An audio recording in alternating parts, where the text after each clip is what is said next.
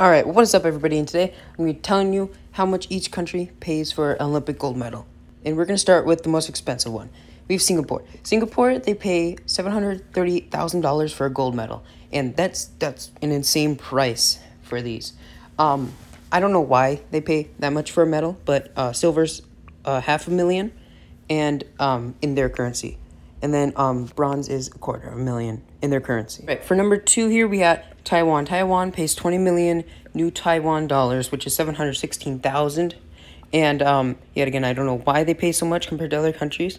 Um, we'll get to the U.S. later because they pay significantly less. Right, and then in third place, we have Indonesia, which pays 5 billion Indonesian I'm sorry, I can't pronounce that, which is 346,000 US dollars. Now, what can that get you? That can get you a Lamborghini, a house, and many other things. All right, in fourth place, we have Bangladesh, which pays 300,000 for a gold medal. For silver, it'd be 150,000 and 100,000 for a bronze. And in fifth, we have Kazakhstan, which pays 250,000 for a, a gold one, a silver 150,000, and um, 75,000 for um, a uh, bronze one. In number six, we'll have Malaysia, which is 1 million Malaysian uh, ringgits, which is 237,000 US dollars.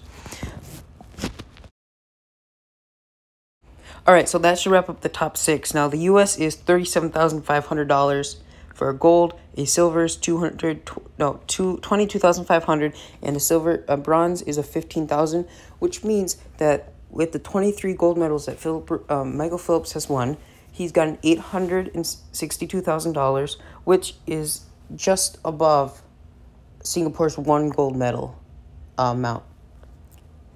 Thank you for watching this. Hopefully you enjoyed, and goodbye.